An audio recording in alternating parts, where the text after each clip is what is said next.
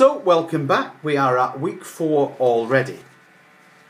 As in all the other weeks, I went through the English syntax differences.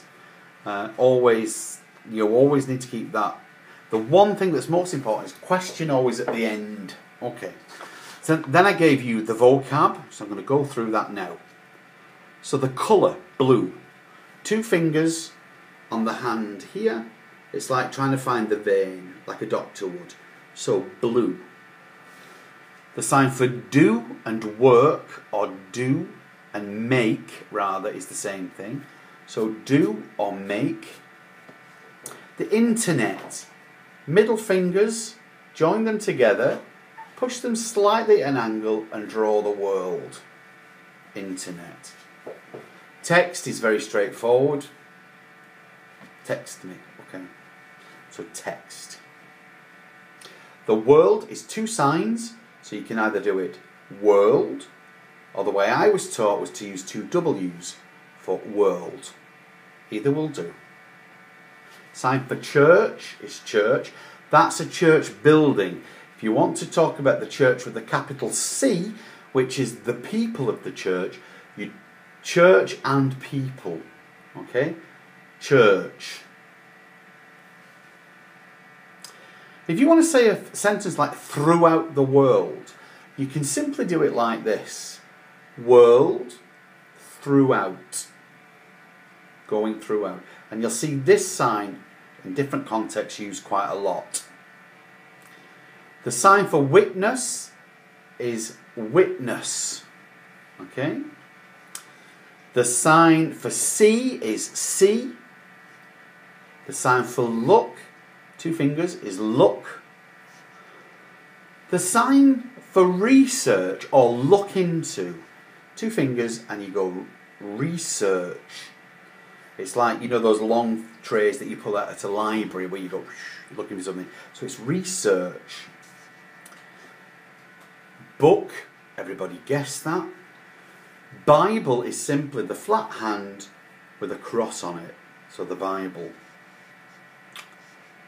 The sign for a funeral. Two fingers and you simply go away from you. So it's funeral. Sign for friend, you might see it done two slightly different ways. Interlocking hands like this, friend.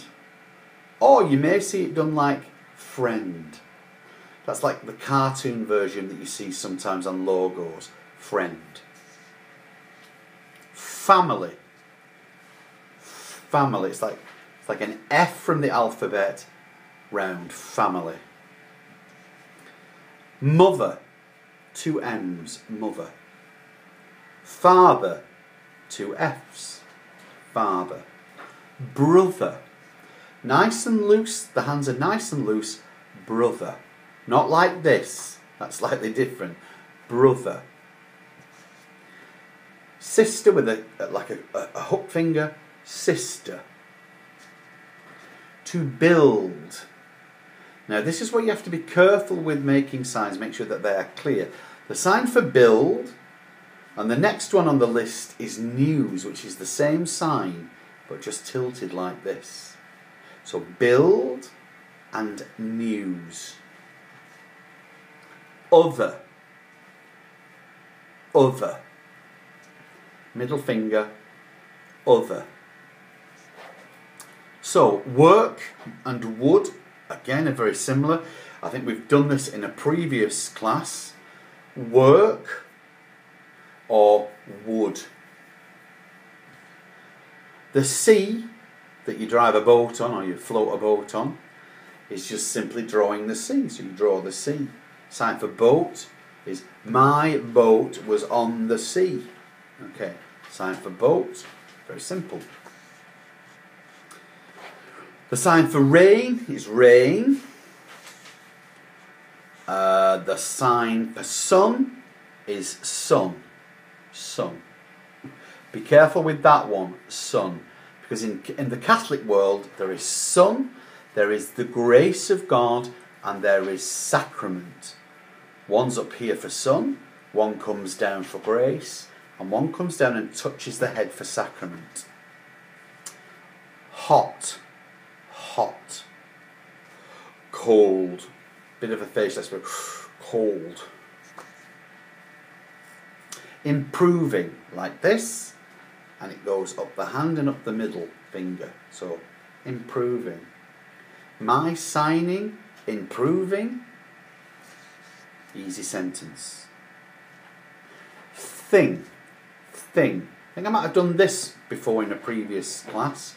Thing, something. Sorry, something. All right, I'll come back to some time in a minute. Uh, there's an odd one that I only have seen in Manchester, and it's over there, over there, over there, over there. Very odd. Not seen it anywhere else. Thirsty and dry are the same sign. Thirsty or dry. Dead. Dead. Sign for kill and cruel are the same sign. Kill or cruel. In the Catholic world, a Catholic martyr is someone who's had their head chopped off, literally, but not like this, not like this. It's using the back of the hand this way. Martyr. Some, sometimes, sometimes. That's what you'll see on the list. So some, sometimes, or sometimes. Now this one is a slightly older version, but you will still uh, see it being used. Time, very easy. Birthday is like, you know, when we pull a child's hair for the number of years. Birthday. Christmas. Big beard. Two signs for Easter. You can either see Easter on the back of the hand, a little cross, Easter, or Easter, middle fingers, Easter. Okay? Bless and bless, two different ones. If you're going to bless God, you two two thumbs up, and it's bless upwards. If I want to bless you, it's like this, bless. So bless you. Strong. That's easy. Ill and sick, same sign. Ill or sick. The sign for an interpreter.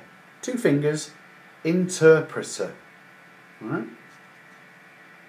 Another is another and again.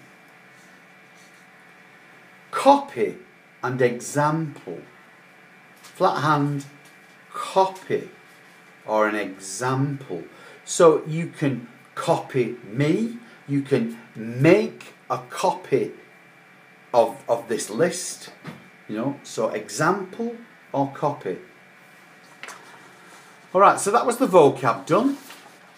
Um, we went then through um, a number of phrases, which I'm going to leave you to do that yourself. There are nine phrases, but what I want you to do then is to, for homework for next week, is to come up with eight phrases of your own.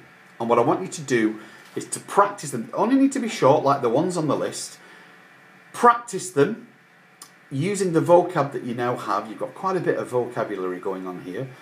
Um, practice them, and next week I'm going to pair you up, and you will uh, you'll sign to each other.